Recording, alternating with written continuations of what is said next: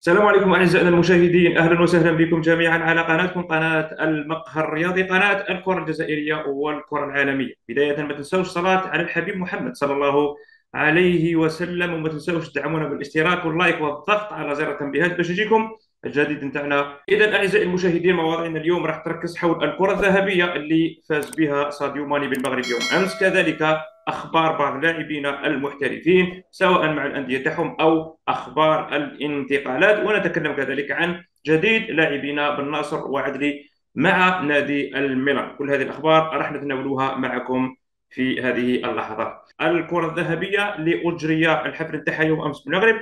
كلكم شفتوا بانه ماني أو ساديو ماني اللاعب الجديد للبايرن والقديم لليفربول هو صاحب الكرة الذهبية وأفضل لاعب في إفريقيا. قبل يومين في موضوع الكرة الذهبية ورتبنا اللاعبين العشرة اللي رشحوهم باش يدوا الكرة الذهبية كان ترتيب اللاعبين ثلاثة الأوائل هو نفسه. البعض ما عجبوش الحال كي نحينا محرز من الثلاثة الأوائل لكن الواقع يقول بأنه محرز مستحيل أن يكون ضمن كوكبة الثلاثة الأوائل في ظل غياب المنتخب الجزائري عن كأس العالم وخروج بنتيجة سيئة وسيئة جدا من كأس إفريقيا.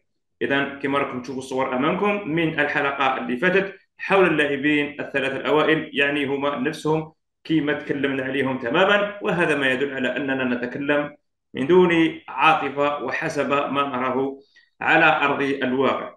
اذا أحبتي نتمنى التوفيق لرياض محرز ان شاء الله وعلاش لا لا يفوز بالكرة الذهبية في المواسم المقبلة. وعندنا حلقة قادمة إن شاء الله حنتكلموا فيها عن سبب خسارة رياض محرز للكرة الذهبية. الموضوع الثاني أعزائي نروح الآن مباشرة إلى قناة سكاي. قناة سكاي وضعت تشكيلات لأفضل ست أندية إيطالية هذا الموسم. الإنتر لازيو الميلان اليوفي روما وكذلك نابولي. ما راحش نتكلم عن نابولي أكيد لأنه لا ستاتكا ولا أدم الناس يدخل ضمن خيارات مدرب نابولي. نروح إلى الميلان كما راكم تشوفوا أمامكم. النصر وعدلي راح يكون أساسي. عدلي مع إبراهيم دياز وكذلك لياو البرازيلي هم اللي شكلوا الثلاثي الهجومي اللي يلعب خلف المهاجم الفرنسي جيرو. وبالنصر راح يلعب مع تونالي في الاسترجاع. وبالتالي نقول أنه عدلي تمكن من إقناع. يعني المدرب نتاعو بيولي في المباراة التحضيريه يوم أو الفترة الماضية لما كنا نتكلموا على عدلي البعض كان يسخر منا ويستهزأ بنا ويقول لك هذا كيفاش؟ عدلي يلعب مع نادي ضعيف في فرنسا قلنا لهم يا جماعة عدلي راه معار. يقول لك بأنه آه، ميلان طرد عدلي وأنتم حابين تجيبوه المنتخب الوطني. قلنا لكم يا جماعة عدلي مازال صغير. والمنتخب أو نادي الميلان كان عنده كيسي كان عنده تونالي كان عنده بالناصر في الوسط كان عنده لاعبين ممتازين. الآن بخروج كيسي أكيد عدلي راح يدي الفرصة تاعو إن شاء الله. واللاعب مثل عدلي نحتاجه بقوة كبيرة جدا في المنتخب الوطني الجزائري بطبيعة الحال. بالتوفيق لعدلي وبالتوفيق لبن وناديهم الميلان في الدوري الإيطالي ودوري أبطال أوروبا هذا الموسم. نروح للخبر الآخر. أنني نسميه أنه صحيفة الوطن القطرية صحيفة مشهورة في الوطن العربي لكن للأسف سقطت سقطة كبيرة جدا في هذا الخبر لأنه حاولت أنها تدير أو تنشر فتنة بين القطريين والجزائريين. يعني شوفوا الموضوع ولا شوفوا يعني كيفاش تناولته والعنوان كيفاش كتباته يعني باللون العنابي نتاع المنتخب نتاعهم وغالبا هو اللون اللي تكتب به الصحيفه عناوينها المهمة. كتبت بأنه آه، بلايلي أضعف أو أسوأ لاعب في تاريخ قطر حسب اللاعب السابق أبو خلوف هذا اللاعب القطري.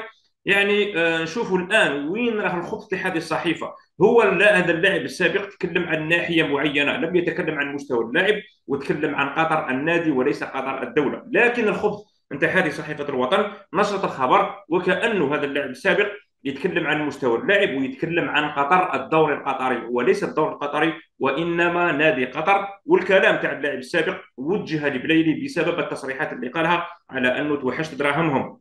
هذا الشيء استهجنته الجماهير نتاع قطر القطري والإدارة تاع نادي قطر القطري. وأنا نشوف أنه من حقهم لأنه هذا تصريح مسيء ومسيء جدا. نعرف بأنه بلايلي كان محترم جدا. في نادي قطر. القطري ولما حب يعني يحبس العقد نتاعو حبسوه له بكل احترام عكس ما صار مع الأهلي السعودي اللي تمرمد معاه في المحاكم. الآن أنا نشوف بأنه إدارة قطر القطري تعاملت مع بلايلي بطيبة تعاملت معه بسهولة سهلت الأمور لما حب يروح لبراست ما عيتوش وفسخت العقد تاعو بطريقة عادية جدا. والآن بلايلي يسرع بهذا التصريح أنا أقول بأنه تصريح بعيد عن الاحترافية. لكن الصحيفة هذه تاع الوطن حبت تلعب في المياه العكرة ونشرت الخبر بطريقة تاع فتنة بين الجزائر وقطر وبالتالي نقول بأن ربي يهديها القطر هذه الصحيفه القطرية هذه والخبر عادي وعادي جدا. وشفت يعني ردات فعل كبيرة جدا من الجزائريين في الفيسبوك وفي تويتر إلى آخره. لكن نطلب منكم انكم تقرأوا الخبر باش تفهموا واش قال هذا اللاعب السابق واحترسوا من خبث هذه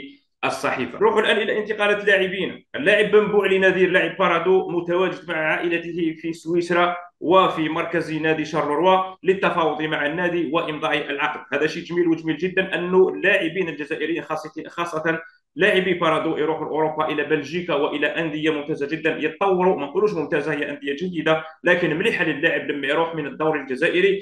باش يطور نفسه وكذلك يندمج مع الكرة تاع المستوى العالي المستوى المحترف لأنه تعرفوا المستوى تاع الكرة تاعنا بعيد كل البعد عن الاحتراف وبالتالي اللاعب لازم له période de transition معناتها فترة انتقالية باش يلعب في نادي كبير ينتقل من الدوري الجزائري إلى نادي كبير. راكم شفتوا الآن نادي وولفرهامبتون اتصل بشارلروا وعرض 8 ملايين أورو على الإدارة تاع شارلروا باش يجيب اللاعب يعني زرقان. هذا شيء جميل وجميل جدا. كذلك نتمنى التوفيق لكل لاعبينا المتواجدين في سويسرا وفي بلجيكا وفي فرنسا وفي كل الدول الأوروبية لأن الفائدة في الأول والأخير راح تعود للكرة الجزائرية والمنتخب الوطني الجزائري.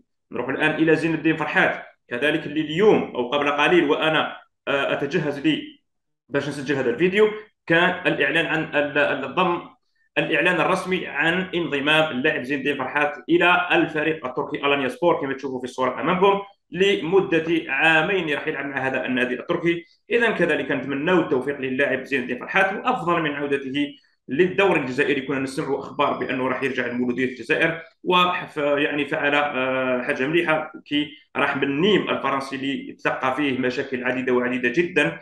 يعني كلكم تعرفوا أنه نيم سقط الموسم الماضي إلى الدرجة الثانية وفرحات لما آه، حب يخرج من النادي داروا له عدة مشاكل وما خلاوهش يغادر النادي. كمل العقد تاعو وانتقل بصفة حرة مجانا إلى نادي آلانيا سبور وهذا شيء جيد للاعب باش يفاوض على راتب محترم جدا. نروح الان إلى اللاعب الدولي سليماني. سليماني بعد مشاكل كبيرة جدا مع مدربه في سبورتينغ لشبونة ما زالت المشاكل يعني تتواصل معه ولم يصل إلى كما إحنا نقولوا اتفاق مع نادي سبورتينغ لشبونة. سبورتينغ لشبونة يريد التخلي عن خدمات سليماني وسليماني يريد الخروج من سبورتينغ لشبونة.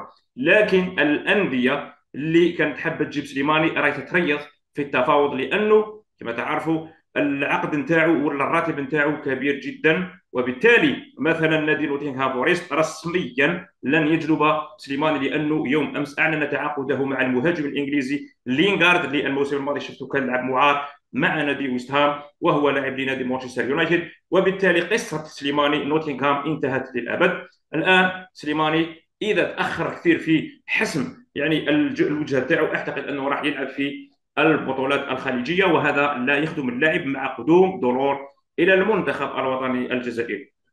نتمنى التوفيق لسليماني باش يبقى نادي محترم يلعب فيه نظير ما قدمه للكره الجزائريه فهو يستحق كل السند وكذلك الدعم وندعو له إن شاء الله أنه الوضع نتاعو ينفرج الآن راح نتكلم عن لاعبين في الفترة الماضية يعني امضوا عقود مع أندية محترفة لكن إحنا ما نعرفهمش كثير. اللاعب نوهام عبد اللاوي من مواليد 15 مارس 2004 أمضى عقده مع نادي ليتشي في السيري اي يعني هذا النادي يعني صعد هذا الموسم للدرجة الأولى الإيطالية وأصبح الآن لاعب في الدوري الإيطالي. هذا شيء جميل جدا. اللاعب يبلغ من العمر 18 سنة.